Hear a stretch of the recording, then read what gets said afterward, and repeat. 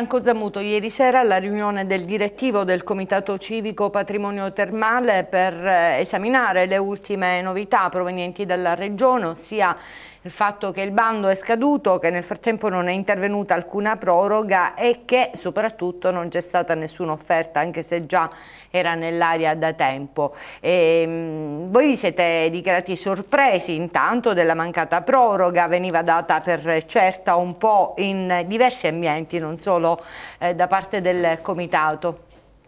Beh, la sorpresa è stata massima, credo che abbia scosso tutta la città la notizia, anche perché eravamo in attesa peraltro comunicato che avrebbero prorogato fino a settembre. Allora, eh, la sorpresa è anche mortificante per la città, perché una città che si è impegnata tantissimo, che ha dato un grande contributo a, a fare questo bando, non ci sorprende il fatto che l'abbiano sospesa, quanto che non, noi non siamo stati completamente tenuti in considerazione dopo quello che è stato il nostro contributo fattivo a quello che è stato il bando che è stato eh, eh, emesso. E allora dico, questa città deve riappropriarsi del, del, suo, diciamo, del suo prestigio, ma soprattutto di quello che lei conosce delle terme e che sa sicuramente come poter andare avanti sulla questione delle terme. L'unica cosa che mi sento di dire in positivo, o quantomeno diciamo che è accettabile, è che effettivamente il periodo non è quello adatto. Noi abbiamo attraversato, dopo aver fatto il bando, dopo aver studiato come proporlo, abbiamo affrontato la questione del Covid. Beh, quella sicuramente ha bloccato tutto, ma non solo Sciacca, quanto tutta l'Italia. Oggi abbiamo un patrimonio alberghiero e turistico in grossa difficoltà, tantissimi fallimenti ci saranno a seguire, per cui è il momento poco adatto a pensare di poter trovare un partner e un privato che possa essere interessato immediatamente a questa vicenda. Per cui non lo vediamo molto in negativo. Il negativo è la politica come funziona. Il negativo è non, non avere rispetto per chi veramente merita la partecipazione a qualche cosa e arriva a sorpresa una scelta, una determinazione di cui nessuno sa nulla e che ancora non conosciamo il perché. Abbiamo soltanto un elemento minimo positivo che è quello che dicono ci sarà una condizione migliore di offerta. Noi attenderemo e chiaramente chiederemo un incontro quanto prima, sicuramente diciamo, è questa la discussione che c'è stata dentro il comitato per comprendere quali sono le ragioni che hanno portato a questa scelta a sorpresa e poi vedere come organizzarci noi lì cercheremo in tutti i modi di capovolgere il tavolo ed essere protagonisti questa volta ancora di più quanto non lo siamo stati la volta precedente per fare un bando che finalmente possa sortire gli effetti positivi. Questo considerando anche che questo bando deve anche prevedere alternative a quella che è la possibilità di arrivare eh, esclusivamente a un partner privato, ma che potrebbero essere offerte tante altre circostanze che probabilmente oggi possono trovare ancora più fondamento e che magari quando abbiamo fatto il primo bando non, non eravamo nelle condizioni di poter sfruttare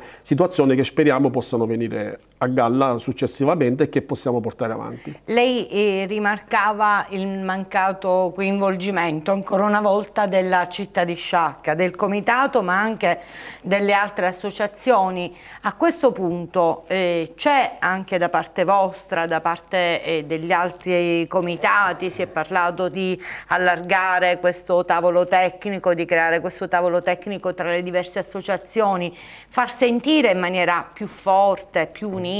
la, quella che è la forza della città che finora non si è registrata proprio appieno su questa vicenda. Beh, la forza della città dobbiamo dimostrare di mm. essere più autorevoli. Sul fatto che ci siano più comitati, questa è la, una ricchezza, non può essere considerata diciamo, un diminu una diminuzione o che una separazione, una divisione. È chiaro che da tre o più associazioni, comitati costituiti possono venire più idee e queste poi nel tempo, quando ognuna di queste associazioni, quando ognuno avrà diciamo, eh, raccolto quelle che sono le proprie, le proprie, idee, quando uno avrà messo in campo le proprie idee, probabilmente poi ci potrebbe essere un confronto per verificare se queste idee coincidono e se possiamo portare avanti idee comuni. Ma sarebbe comunque una ricchezza anche se ci fossero idee diverse quando saranno proposte alla, alla Regione e possibilmente se dovessimo trovarla come unitaria è chiaro che potremmo anche portarla e condurla insieme, ma è chiaro che ogni comitato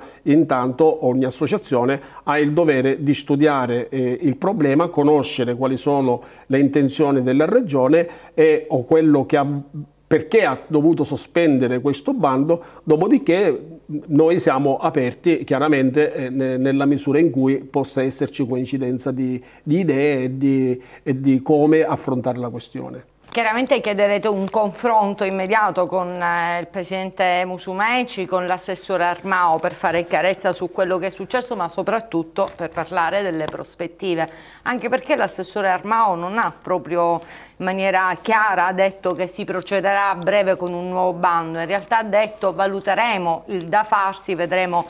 la soluzione migliore per Sciacca, qual è questa soluzione migliore per Sciacca? La,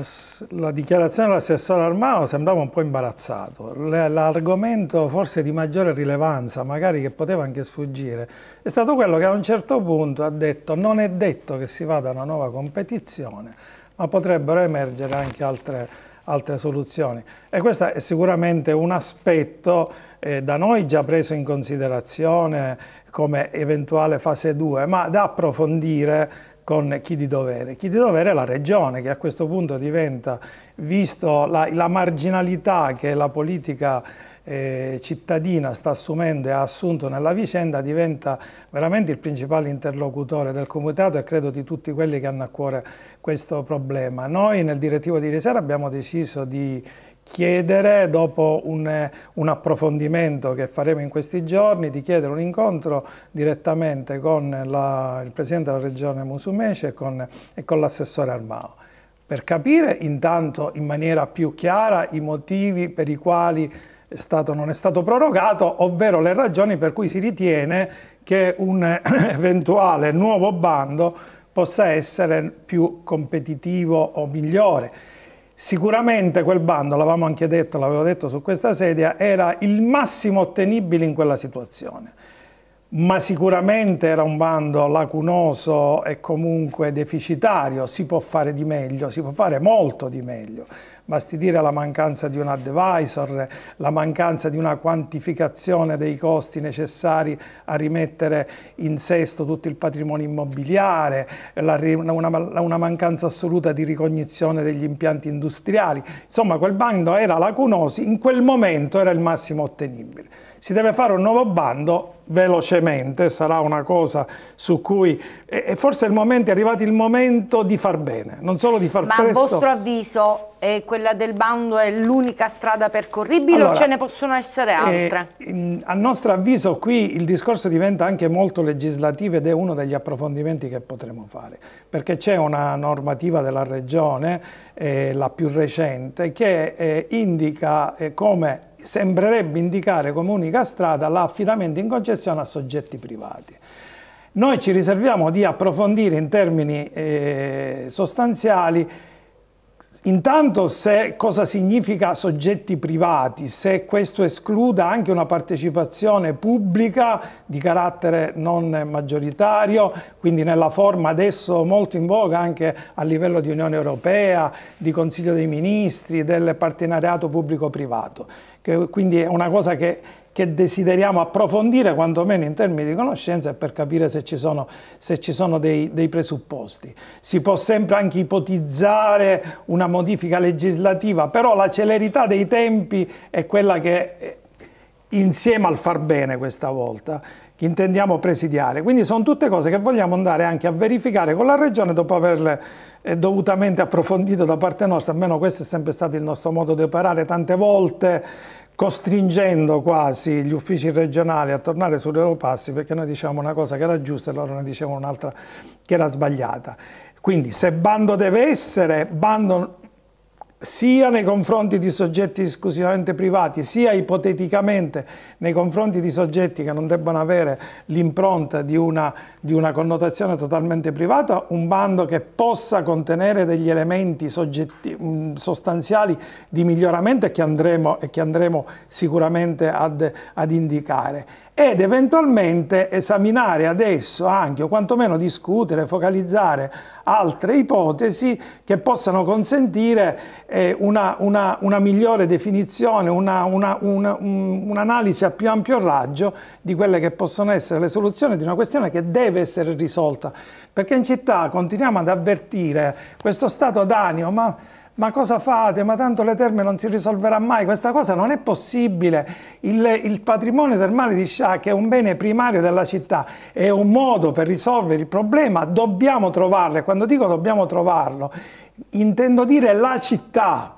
Il comitato eh, può assumere anche, speriamo riesca a assumere questa funzione, di essere veramente da traino di una città che sembra assistere inerte al depauperamento, secondo me anche con responsabilità di carattere erariale della Regione, perché essendo un bene demaniale la Regione ha il dovere giuridico di salvaguardarlo, di manutenzionarlo e di tutelarlo, quindi saranno anche questi aspetti che considereremo e porteremo su, sui tavoli, anche con eventuali responsabilità responsabilità da parte di chi sta portando a distruzione un bene che noi invece vogliamo recuperare e valorizzare.